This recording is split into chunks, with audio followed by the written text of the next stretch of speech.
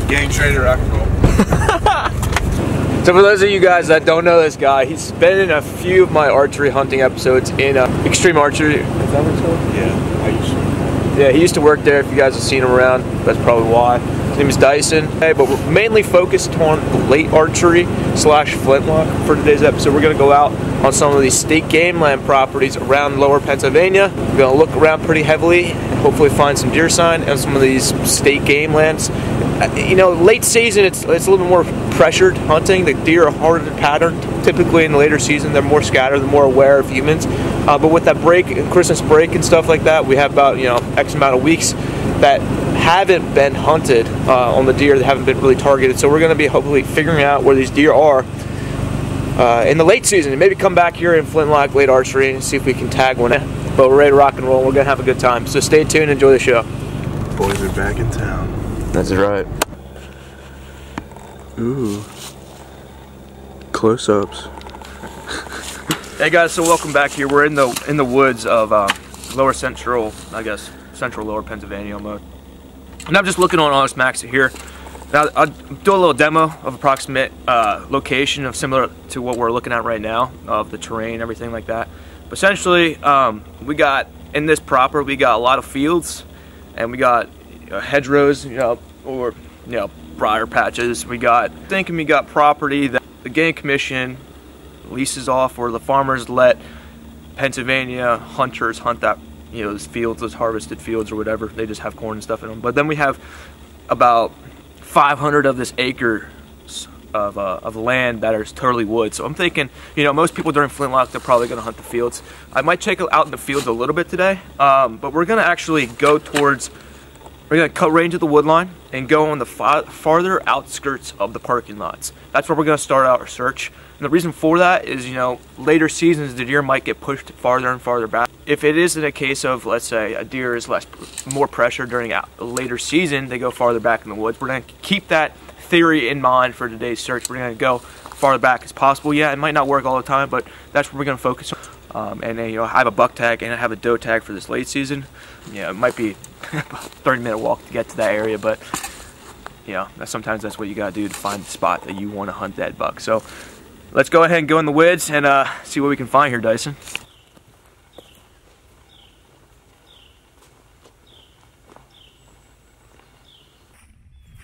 Typically, um, what I found to be the case most times for myself during late season, if I find I saw it. you see one? Tail. Oh, you just saw it. See, there it is. A deal kicked up the hillside. Yeah, okay. There. You couldn't tell what it was. Probably down. I just, I was walking and I looked at you and I looked back and I just saw a white tail kick up and it took off. Yeah. It was probably because I was talking. What is it? It looks almost like trees. Okay, so way down. You see how there's that green? yeah, it's like a pine type. Yeah. There's that. It's thicker than all of them. Tree goes straight up. Yeah. See the head of a deer. Just there's. You see that tree right there? Yeah. It's standing right behind it, but I think it's looking right at it. We don't know if we're gonna be able to get this on record, but essentially what we have behind us, beside us, we got this trail, that's going right between a food plot up top there and a food source over there, and in the middle we have um, a creek water source. And Dyson, from what my understanding is, he saw that deer onto this side, right over there, and it ran down and he saw the tail and it stopped right behind the green tree. And that's he saw the deer looking at us then. You know, there might have been more deer with that, but we're not sure. But We're gonna go down here and see if we can find where that deer was at. That's our goal. Dyson and I were just following. We're still on that trail. We've been about 10 minutes since we saw that deer. We're still on that trail. We're following it along. But we notice about every 50 feet or so along this trail, we start seeing these different buck screams. Or buck, buck rubs. It's, I call it a rub line. You know, I don't know. Is that what you call it, Dyson? Essentially, because it's just a trail that they're rubbing. you know it's whether that make it they make those those rubs every single day or or the, all those rubs the same day or just come through it and make a different rub a different day this is a natural route where a buck will, will follow. We, we saw about three rubs up top there. I was just about to show you the picture. Here's here's another one. I almost guarantee you, down lower we're gonna find another one. No, I just wanted to point that out. You know, clearly deer are using this, even though it's not the most hidden place for deer to walk. They're probably coming here through nighttime and going up to that food source. Let's just take a picture.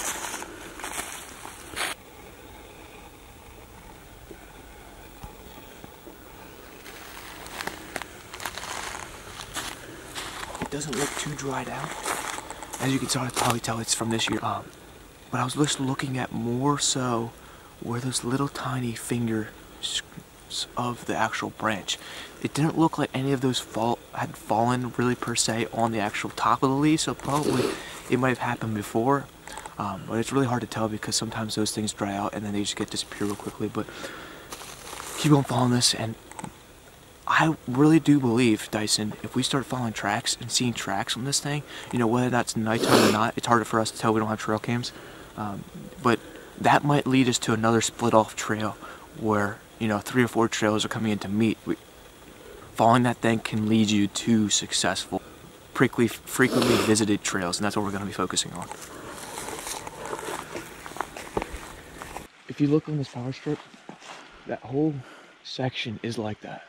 Yeah. All that that briars, all that stuff is like that. I'm almost thinking, you know, we could we can follow the edges of those and find out where the main routes because there's I guarantee you deer are crossing that. Yeah. But there's only specific locations there's deer are crossing. Now we can map them out and figure out the exact spot. In 500 yards that this power line stretches. Yeah. Whether it's walking alongside the power lines or walking until we find a deer trail that crosses that, I don't know.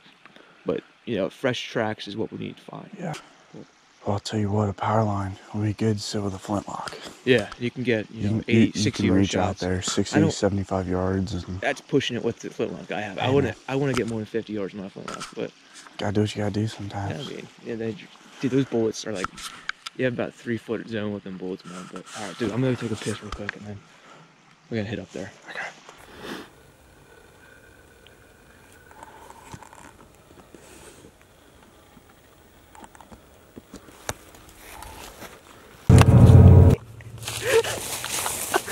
I thought there was a diesel truck coming right at our head. Dude, what was that? It was something in this power line, dude. Maybe like rebooted or something. My my heart just dropped. I grabbed your arm. I was like, what the? if you guys didn't hear that on camera, there's like we're standing right beside the electrical equipment. All of a sudden, like imagine a diesel just exploding right beside you, just turning on, firing right beside you. That's what it felt like. We could feel the vibration of this thing turning on, and we're like not expecting you because you stand beside power lines all the time and no, nothing ever happens. Dude, my heart.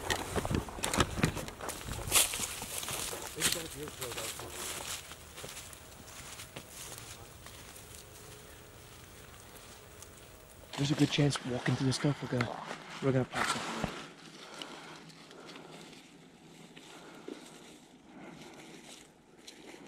Yeah.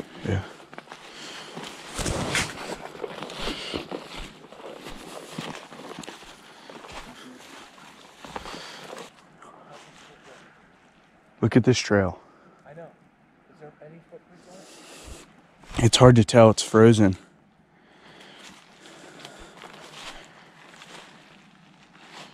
It is beat.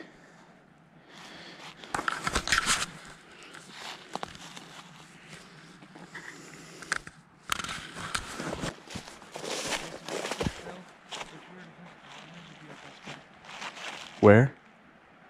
Well, there's that. And dude, you'll see it on the GoPro footage. That trail back there is beat. Yeah, I know.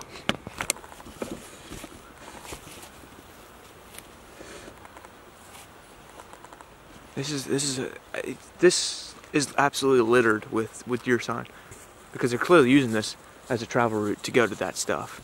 And you know, right down below us we have a creek bottom, right actually above above that, you know, the buck can easily hide there depending on what side they feel like they, they smell something. They can easily go on either side. Um, but your job is to to to find that best trail. Yep. Guys, I was just walking. You know how rare it is to find even a, a uh, cartridge from uh, a rifle? I was looking down here I found a cartridge from this year from a rifle, but guess what? It's a br it's unshot. And you know, better yet, I shoot a couple 30-30s back home. But like, you know how rare that is to find, Dyson? I, I, um, my probably, mind's honestly blown. I would probably never find one like that. You know what probably happened? He probably loaded it right here. Yeah, he was probably walking in from the parking area, started loading up and dropped one. I guarantee that's what it is. He's far enough legally. He's probably 150 yards from the road right now. That's probably why. He probably loaded it right here, dude. Dropped one, never found it. That's pretty cool. Hey guys, by the way, we're gonna head back to Dyson. He has a, a, a private section. We were searching around here for quite some time now, maybe an hour and a half. But that's not a lot of time, I know. But ways we're walking around, we didn't find exactly what we need. We found a lot of trails, but not a lot of deer sign. You know, like, old. It's old stuff. You know, it's probably throughout the whole year. There was no. Uh, we were. I mean, we were hammering it. We were finding some absolute killer location killer trails, um, but they weren't frequently used trails. We know that because we didn't see any tracks, we didn't see manure. So you know, okay, we got to get out of here. We, now there's about a thousand acres here. There's a little, you know, a little bit more, a little bit less some areas. With that being said, we only searched about probably about 150. So there's plenty more opportunities to look around the area for the deer. But Dyson was like, you know what? Why we could just go ahead to that private property we have back in my house. You know, in the past, I've seen five bucks, all all legal, all eight points, all nine points, and, and maybe a six point or so, and he's seen two doe. Um, and in the past, he's actually hunted that only two years ago. And he said he hunted for two days, saw about five buck and a couple other uh, uh, animals, uh, let's say you know deer or whatever, um, in those two days. And last year, I think he he even said he saw some deer back there too. But it does not get hunted that often. So he's like, well, I, I uh, yeah, if you want to, if you want to, you know, hunt an area that's unpressured, um, I can let you hunt in that private property. I have permission, so that's what we're gonna go head up. He has a stand up, and, uh, and, and, and if it all works out, uh, we might be able to find some better deer sign than here. You know, out here the deer are just spread out. Uh, there's gonna be some uh, areas where those deer are more frequently traveling, but out where Dyson is, you know, that's where the deer are living. You know, and they're not traveling; they're living there. So that's what we're gonna be focusing on. But you know, dude, that might actually be the uh, bullet I kill a deer with next year. That'd be freaking sick. Shoot, I lost it. We'll find it. Here, there we got. we got, we got, we got. All right. Um, so let's go back to Dyson's house and uh, see what we can find on the deer stand.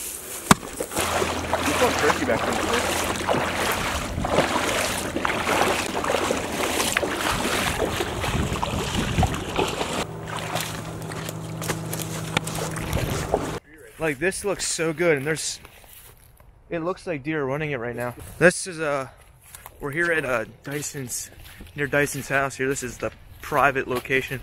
And uh from what he was telling me, there's some deer that are consistently moving through here. Um now it doesn't get hunted that much, which gives us a higher opportunity to get some of these deer. So we're first gonna scout this out because Dyson didn't hunt this this year that much. You hunted it one time this year. Okay, did you see it? You saw three doe the first time. What was this? Was early archery? My stand's right there. It was the last day of early last, archery. Last day of early archery. My stand is right there, and there's doe. That doe that I was gonna shoot. Basically, most of the, the movement I see, I don't know if it's like a pattern or what, but when I saw those, those the buck, all the buck came from out in front of me out here, and they came into within 30 yards. And then every time I saw the doe, um, I had three doe come out right here one time. I had five come out over here in front of me before.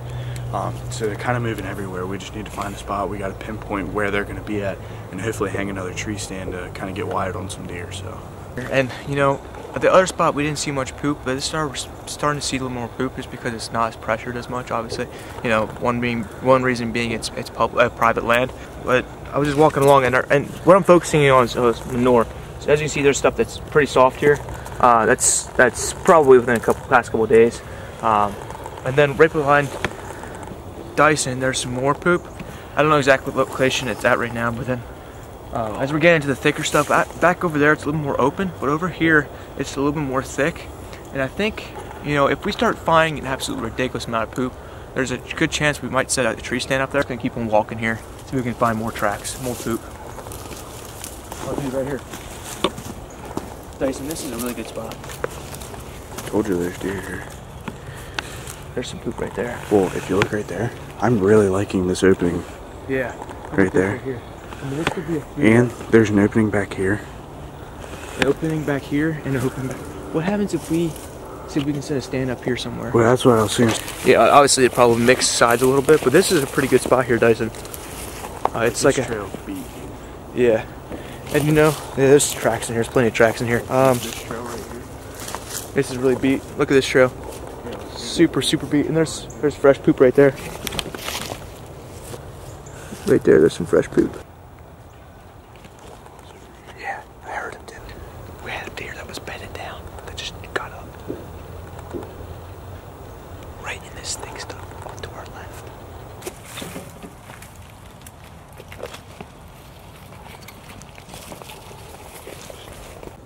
That's literally so soft. That's gotta be from this morning, dude. Look how soft that is. That's fresh.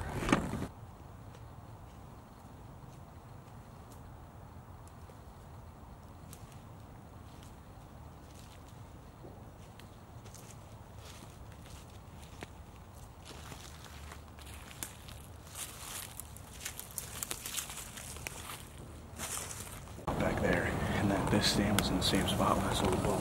This this this stand's a little old though, right? Yeah, it's like three years. We still gotta fix it. What do we gotta fix? We gotta just turn it. Turn it. Okay.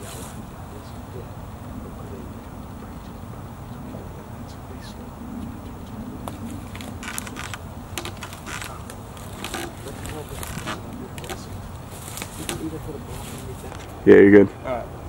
This this stand was originally pretty loose, and what we did was you just ratcheted it a little bit more. It's it's been up here for about three years, but we just checked to make sure the wood's already pretty good. The wood's pretty good. I know I'm not strapped in, but we're pretty we're doing pretty good. We're only about eight feet off the ground, uh, so it's not too dangerous. But you know, still gotta be uh, make sure you get harnessed in when you're doing stuff like this. Sometimes uh, we just put some wedged some two by four blocks in on either side of the stand, uh, and that, that really secured the stand from shifting back and forth. And we ratcheted a little bit more. And and up in this spot, uh, I'll show you just a couple seconds. Up in this spot, it's very open, and you can probably see 100 yards every direction, but you can only shoot about 30 yards at a deer. So it's there's a lot of branches that can get in the way. It's it's a uh, it's a hit or miss. You know, it is what it is. But there's a lot of deer that come through this, a lot of trails, a lot of different stuff that come through this spot. I think we got lots of options on where these deer can come from. It's kind of hard to pinpoint them, but I think we're at a good spot here with this little opening. Um, we're at a pretty good spot for these deer uh, to kind of funnel into us and hopefully get you a shot. out over at the other location, we had a, found a beautiful, beautiful big tree that would have been pretty perfect for uh, setting up a stand. We might do that Tuesday, Thursday afternoon. We might go up there and hunt. But um, so far, so good. We nice, nice hanger up here. but very rock and roll. Day in the woods with Wyatt Weaver. We were actually uh, in the woods mainly to, to do some scouting, do some pre-scouting for, for archery season. Actually, this spot near Dyson's house is perfect for uh, for for archery season. You can't you can't use a flintlock back there, and uh, it's too close to houses. But it's perfect, absolutely perfect for uh, archery. I guess we'll see you guys here on Thursday with uh, Dyson and I in the woods of uh, Pennsylvania. Any last words here, buddy? Doe, buck, some. Just want to get wide on a deer.